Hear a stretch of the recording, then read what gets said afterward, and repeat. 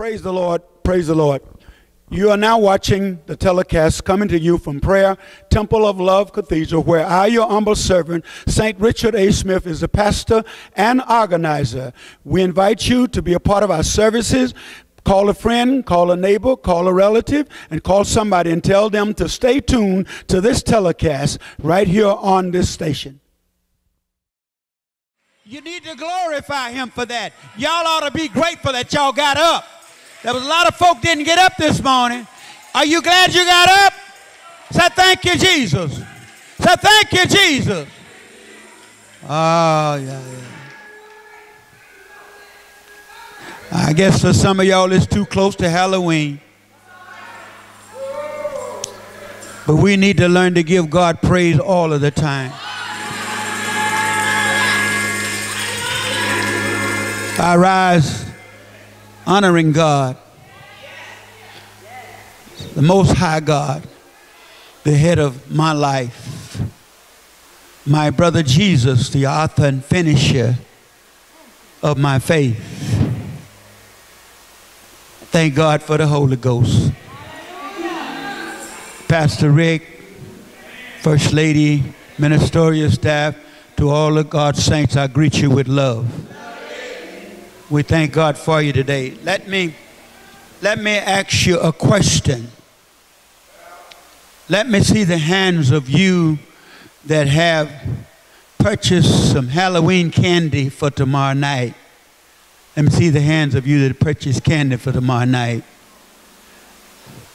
I want you to go home, take it in the backyard, and bury it.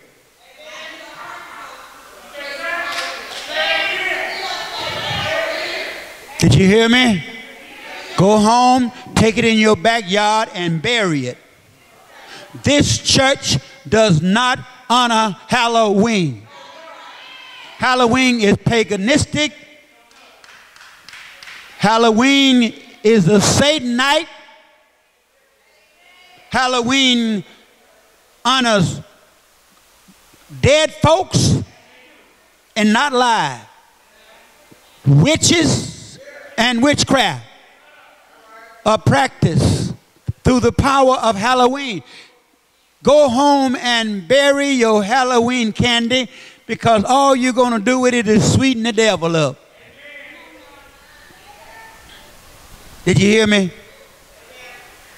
Now, I'm coming by your house. If I see you knock on your door and you come to with some trick or treats,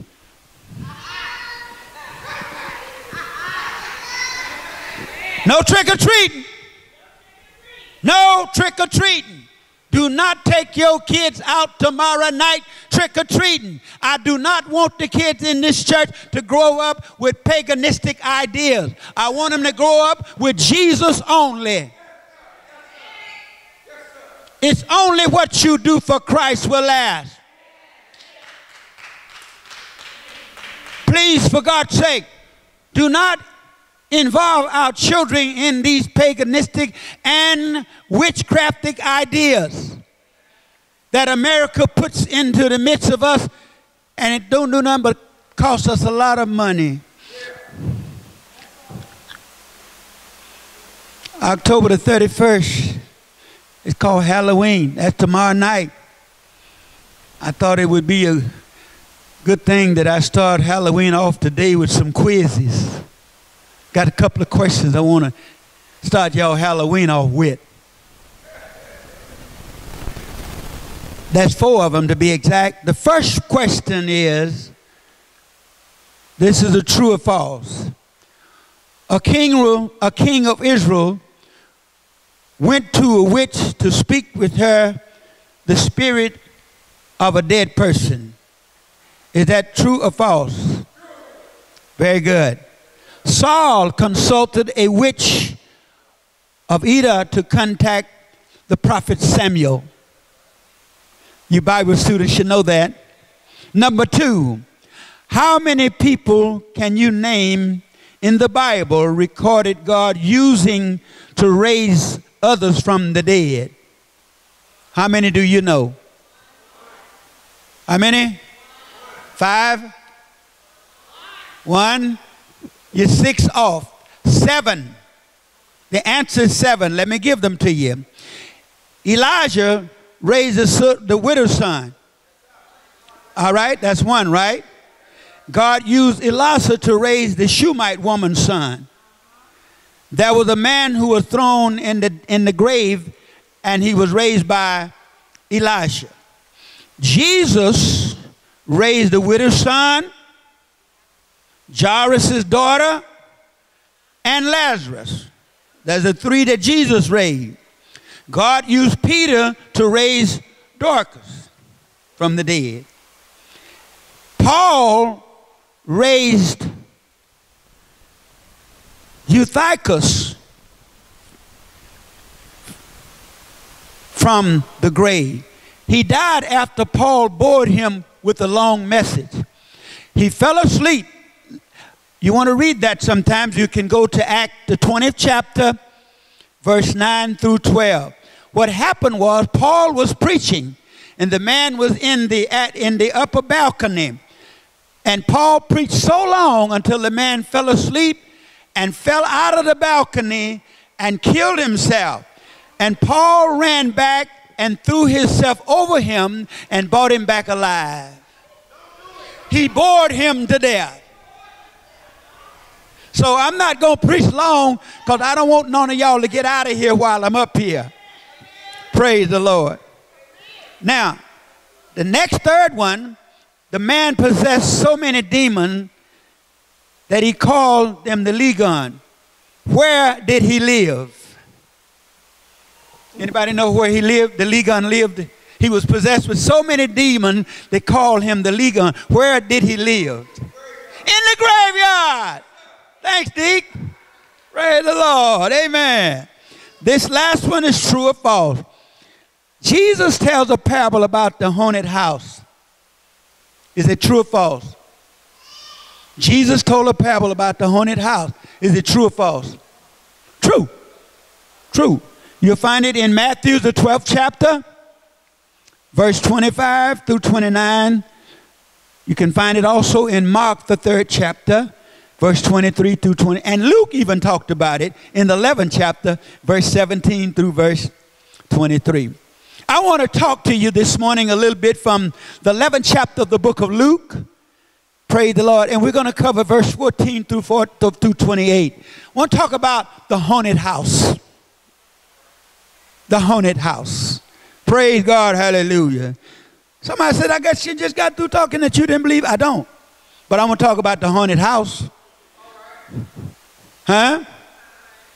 The haunted house. Let's start at verse 14. And he had casted out devils, and it was dumb. And it came to pass when the devil was gone out of the dumb spoke, and the people wondered. But some of them said, He casted out devils through Beelzebub, whom has been known to be the devil. Sit down, y'all. Bless you. And he casted out devils. Listen to this one here. This is a good one here. Through Beelzebub, the chief of the devil. But, and others attempted him, sought and taught him, saying, seeing signs from heaven. But but he knew their thoughts and said unto them, Every kingdom divided, listen to me this morning, every kingdom divided against itself is brought to desolation, and a house divided against the house falls. If Satan also be divided against himself, how shall his kingdom stand? Because you say that I casted out devils through Beelzebub, and if I by Beelzebub casted out devils, by whom do you son, do your son cast them out? Therefore shall they be the judge. You cannot cast out devil. What happened here was, if you read the story of Beelzebub, Baal is demonite, it's Satanite. And this man was named, and he was called the spirit of evil. But Jesus did not cast out devils through him, but he casted out him through the power of God. The devil, Beelzebub, that was in them is what Jesus casted out. They misconstrued it and accused Jesus of being practicing witchcraft. And Jesus did not practice witchcraft, and don't you let nobody ever tell you that. He casted out demons through the power of God. But he named them and labeled them as to who they were so that the people could know exactly who he was casting out. Are y'all with me thus far? Pray the Lord. If, if, if, listen to it. Verse, verse 18. If Satan also be divided against himself, Beelzebub being the devil, Satan being the devil, pray, if he be divided against himself, how shall the kingdom stand? He wanted to show them that even though they were practicing through under the laws of Beelzebub, that he could be torn down and destroyed and taken out of their lives. Because as you read a little further, there was a devil in the house, and Jesus casted him out, and they cleaned the house up. After they cleaned the house up, the devil went and couldn't find nobody to get into. He searched all through the community and couldn't find nobody to get into. What did he do? He went back to where he come from. When he got back to the house where he come from, it was clean. So he couldn't operate. What did he do? He went out and got seven more devils that's what the word says. He went out and got seven more devils stronger than the people that cleaned up the house. How, how many times in your life have you gone to God and prayed and asked the Lord to fix things for you? And the Lord will fix it for you. And when the devil come back, he himself is too weak, but he go out and get his whole family go out and get his whole family and come back to antagonize you. And he will take over if you let him. If you start trying to think that you got power to do something, the devil will take over your house and destroy whatever you got. But whatever you do, if you do it in the name of Jesus, the Bible says in the book of Galatians, for we have overcome them. For greater is he that is in you than he that is in the world. When the devil come into your house to try to take over, when he go out and summon seven or eight, ten spirit, I don't care if you summon ten thousand spirit, you cannot conquer because God is too great for the devil to conquer. And one thing I want to share with you this morning, this sermon is going to be short. One thing I want to share with you and I want to take back with you. The devil can't do nothing to you unless you let him. Whatever happened to you is because you have allowed the devil to come into your life. Praise God. Hallelujah. Whether you know it or not, your house is being haunted daily. It's being haunted by your children, being haunted by your desire. Y'all need to stop letting your children sit home all day when they come home from school and watch television. They don't watch nothing religiously. They don't do nothing but watch pornography and all this other garbage that they got on television. That's a haunted house. That television become haunted in your house because it destroyed the image of God in your house. You need a God fearing house, God fearing children. You need children that will be obedient. They ain't going to obey you if they watch too much junk on television of disobedience.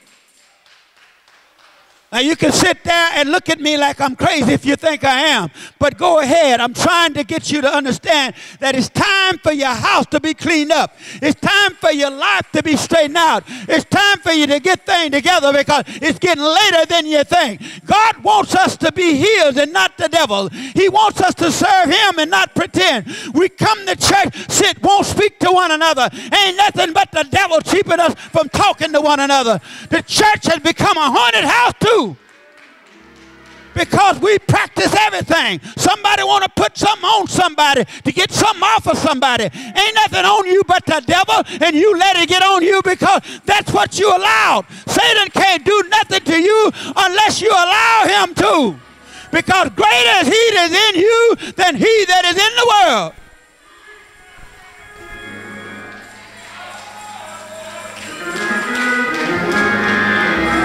Keep on talking about the devil made you do this and the devil, devil ain't made you do nothing. You did it because you wanted to, and then you want to blame the devil for it.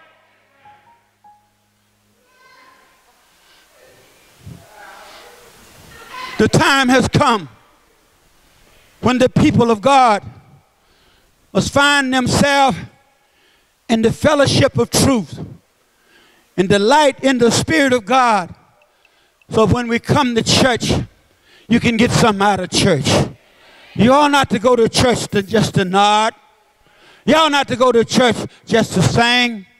But there ought to be a message coming from everybody. I stopped by this Lamont child of God. You got a message for somebody. Because all of us are messengers of God. When we receive His Holy Spirit, when we've been born again, you can act and you can do something. But we sit with weakness. We sit denying ourselves of the opportunity. God will speak to our heart and our mind and tell us something to do, and we won't do it because they won't lack it. Who cares whether they lack it or not? Huh? Who cares whether they lack it or not?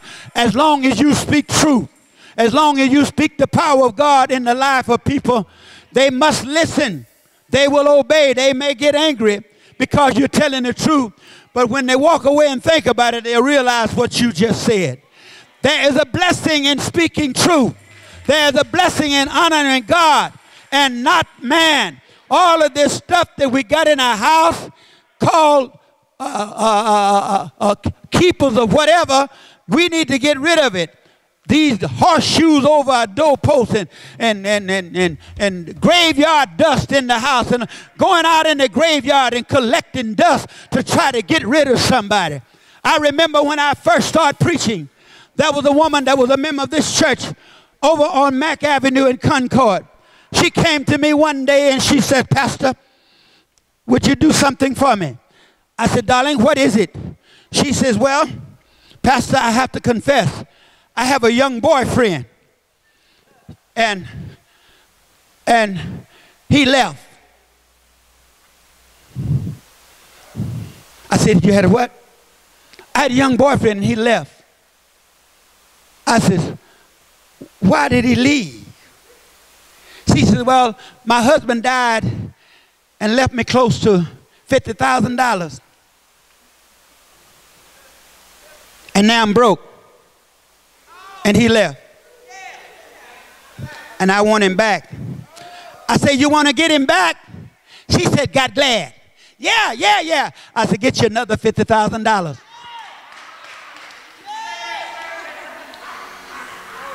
That's exactly what I told her. Get you another $50,000 and you can get him back. And the woman had everything in the house.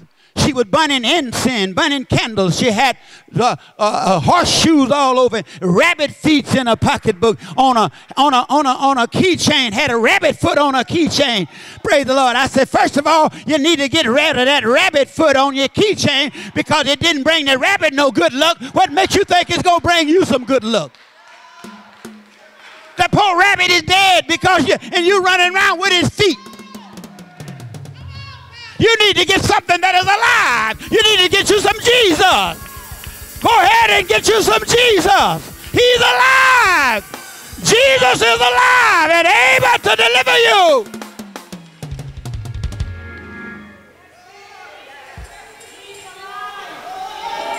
I told y'all I wasn't going to preach long. But go home and get rid of your junk. Keep it out of the hands of these children. Because I don't want them growing up in the midst of junk.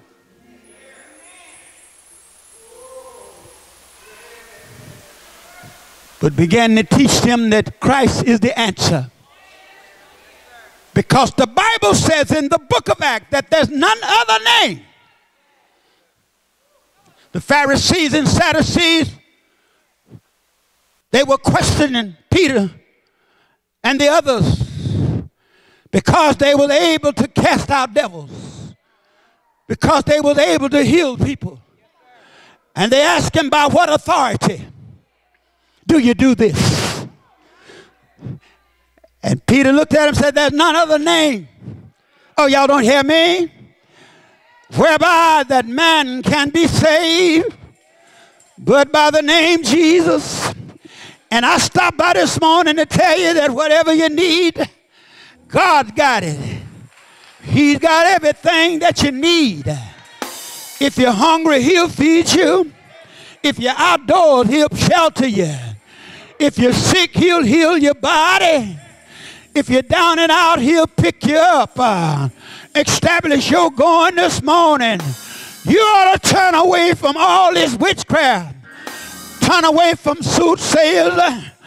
Turn away from demon possessors. Turn away from deviators and turn to Jesus. He's able. I know he will. I know he'll make a way out of no way for you. Trust in the Lord and don't lean on your own understanding. Go ahead and tell somebody. I know a man uh, who died on a Friday, got up early Sunday morning with all power, with all power in his hand. I'm talking about Jesus. Ain't God all right? Ain't God all right? Ain't God?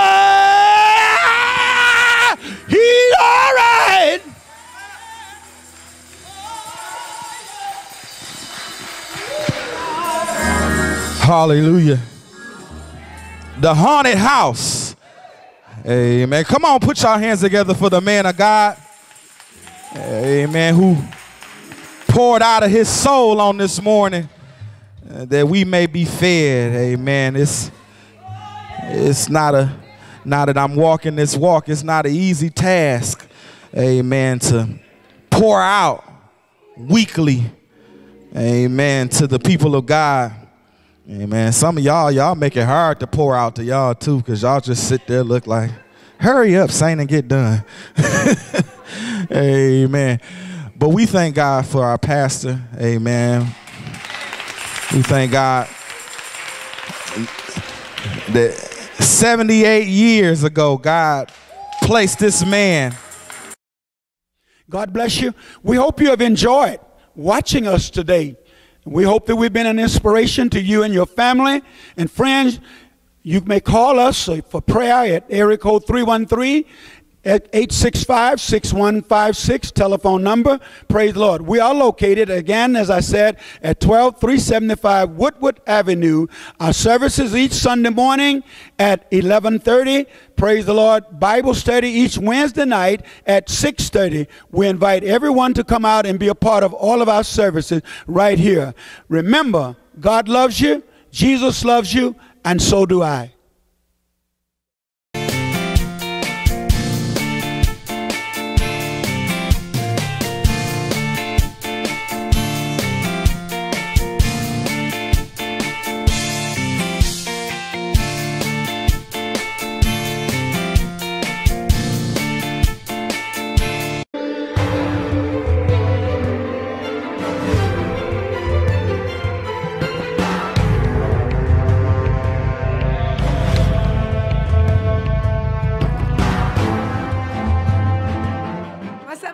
This is your girl, Vicki Winans, and you're watching Bell Global Network. My name is Mike Duggan, and I'm watching the Bell Global Network. Hey, keep it locked. It's your boy D. Hattie watching the Bell Global Network. You know how it is.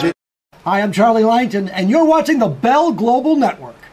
Hi. Hi, this is Martha Reeves, and you're watching Bell Global Network. Hi, everybody.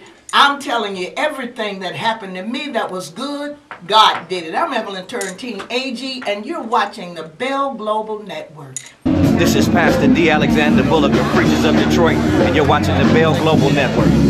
This is Bishop Edgar Vann of Second Ebenezer Church in Detroit, Michigan, and you're watching the Bell Global Network. Hi, I'm Bernadette Stanis. You know me best as Thelma from the TV show Good Times, and you are watching Bell Global Network.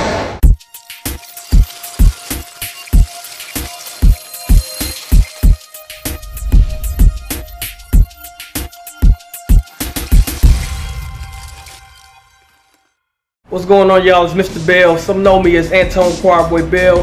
Others know me as Elder Antone Bell.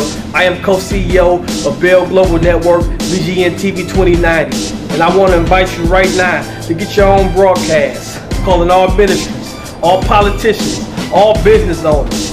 Get your own broadcast right now, starting at $99. And if you have an idea for a TV show, we can bring your idea to reality. We have packages available that includes production and facilities. Also, we have advertising packages starting as little as $25. So don't hesitate. Give us a call at 313-355-7877. Once again, that's 313-355-7877 to make an appointment today.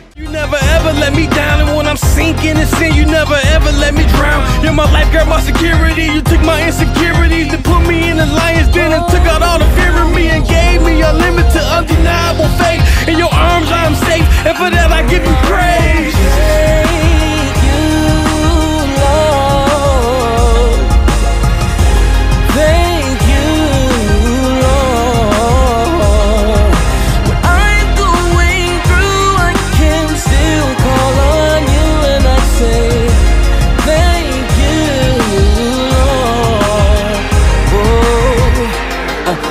My, my soul says thank you. My, my soul says thank you. Hi, everybody. I'm telling you, everything that happened to me that was good, God did it. I'm Evelyn Turrentine Agee, and you're watching the Bell Global Network. This is Pastor D. Alexander Bullock of Preachers of Detroit, and you're watching the Bell Global Network. This is Bishop Edgar Vann of Second Ebenezer Church in Detroit, Michigan, and you're watching the Bell Global Network. Hi, I'm Bernadette Stanis. You know me best as Thelma from the TV show Good Times, and you are watching Bell Global Network. My name is Mike Duggan, and I'm watching the Bell Global Network. Hey, keep it locked. It's your boy D. Hattie, watching the Bell Global Network. You know how it is. Hi, I'm Charlie Langton, and you're watching the Bell Global Network. Hi, this is Martha Reeves, and you're watching Bell Global Network.